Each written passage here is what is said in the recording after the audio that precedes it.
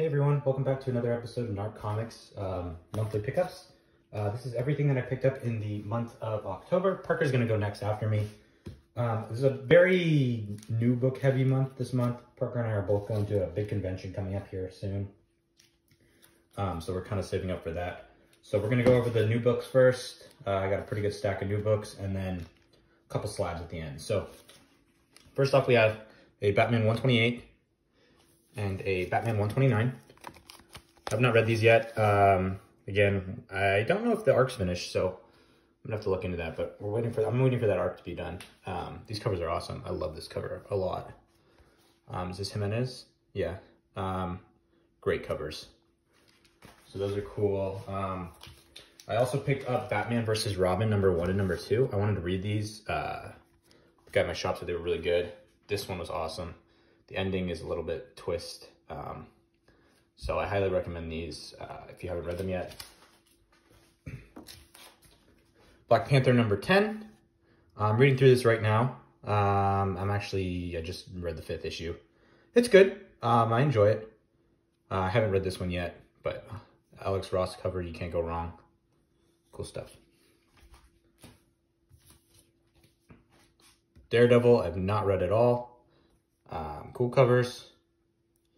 Just not something, I might take this off my pull list. Just not something that really interests me anymore. Uh, but Daredevil.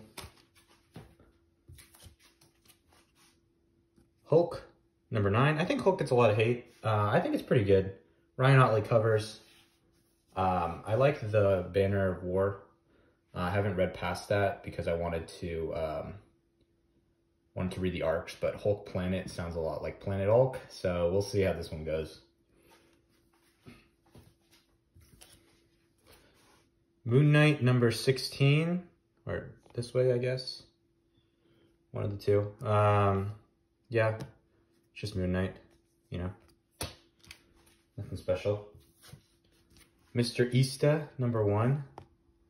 Uh, I thought this looked funny. I haven't read it yet. It looks like a play on the Easter Bunny. Um, like John Wick Easter Bunny-esque. So, we'll get into this Scout comic book. Um, I saw this was option and my shop had it for cover price. Uh, Night of the Ghoul, number one. That's a Scott Snyder book, so I thought, why not? Um, I'm going to get into this one. Read it soon. Looks cool. I love horror books. Year, or The Riddler, Year One. This was written by Paul Dano, the guy who played the Riddler in the movie. Um, yeah, again, I haven't read this yet. It just, it looked interesting, so we'll give it a shot. We have Spider-Man number one. Good cover. I love that cover. And then possibly the worst cover.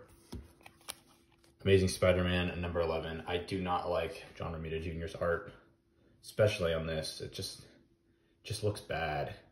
I know he's holding the mask, but it, it just doesn't look good. So uh, it's kind of off-putting to keep buying these books, but we'll see. Uh, I got a second print of Star Wars 26. Um, I don't know if this is doing anything, but you know, it was a first appearance. Cover's awesome. The first print has the blue, I believe. So instead of white down here and white on the title, it's blue, but got that. I'm not a very big Star Wars person, but this month had a lot of Star Wars in it. Like this one, Star Wars The High Republic.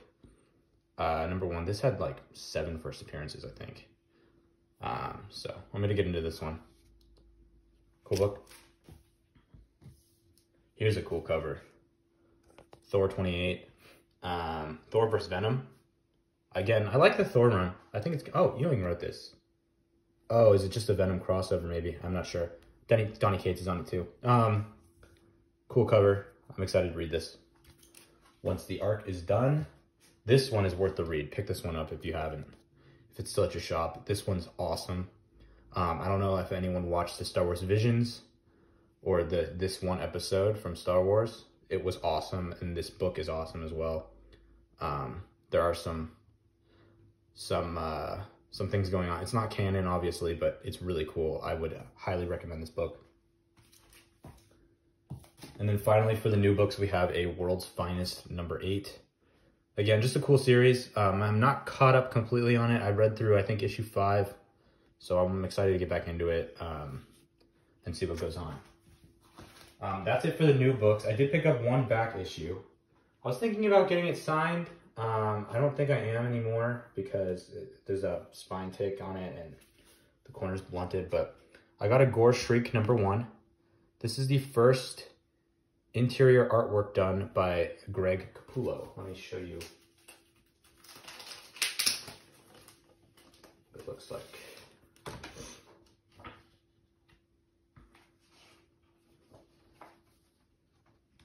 Oh, I don't know if I can show that. Let's look for a page that's not.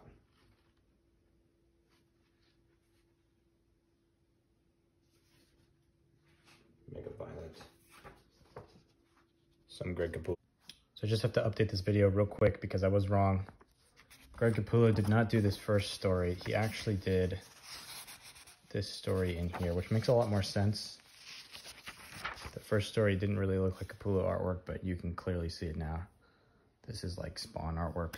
Um, so just wanted to clarify that here, put this in the video. The second story, the silent one, is a Capullo story. This is where he did his art. Cool stuff. Let's get back to the video. Very cool. Um, I've never actually read through this, but I'm, i want to get a slabbed version of this so I can uh, have one on display and get one signed by him. And then also I want to keep this one raw so I can read it. Um, I'm excited to go through it. It looks a little more like Red Room. Um, I don't know if anyone read Red Room, but that was like super hyper violent. So I'm excited to, to finally break into that one. And then I also mentioned I did get two slabs. I think I paid 150 bucks for both of these. Not, I didn't buy them from the same seller, but we have a New Mutants 1 in a 9.0 signed by Claremont, Bob McLeod, and Jim Shooter. So you can see all the signatures right there. I thought it was cool. It's a 9.0. It's not like worth much, not super rare, but I've always wanted a Chris Claremont signature, so I'm excited to finally have one. And then the other slab I have, you can hear the slab bag in the back. Um, I picked this up on eBay. I'm surprised actually this got a 9.8 because there is some color rub I'll show in a second. But I did mention it's very Star Wars heavy. I think this came to 50 bucks. Um, very cool slab. Uh, Star Wars The High Republic. Couple first appearances in there. And then right here, I don't know if you could see on camera, there is some color rub. And there is some on the back as well. So I'm surprised it's got a 9.8, but you know what? It's cool to have. Um, I'm excited to own this. I sold some slabs, so i um, got some holes in my collection. Um, holes in my slab box, I should say, but this is gonna fill it right now. Anyway, that's everything I picked up. Let's pass it over to Parker. Hi everyone, Parker from Nark Comicz here, and I'm going to be showing you my comic haul for October. Alright, first I'm going to be showing you my new comics that I got for my pull list. I only have two though, so everything is back issue. Alright, I got Moon Knight, the new issue of Moon Knight, and a new issue of Hulk. So the next books that I got are a Silver Surfer run from the 90s. So I'm just filling out the run, and I'm almost done, but I'm just getting some random issues that I need. Here, to show you. I got all these for a dollar. Pretty good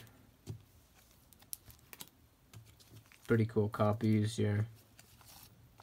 And then some of the later issues, which are a little bit more pricey. And by pricey, it's like seven bucks. So that's pretty cool. And then I'm going to be going into more pricey, pricier uh, back issue. So here we have Red Sonja, first Red Sonja, Conan number 23. This is a very nice copy. Very nice cover. Next, I have Doctor Strange, number 180. So this is uh, Strange Tales that went into Doctor Strange. Very cool color. Psychedelic feel to it on Eternity here. And the background is New York. It's like a picture, so it's not drawn. It's kind of Kind of weird, but it's pretty cool.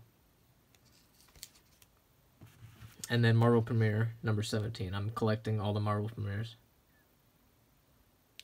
I, I believe this is the third appearance of Iron Fist. Pretty cool. And for the last book that I got is a Silver Surfer number 3 8.0 graded. It's pretty cool. White pages too. Very cool cover. Not a lot of uh, not a lot of issues with the cover, so it looks very nice.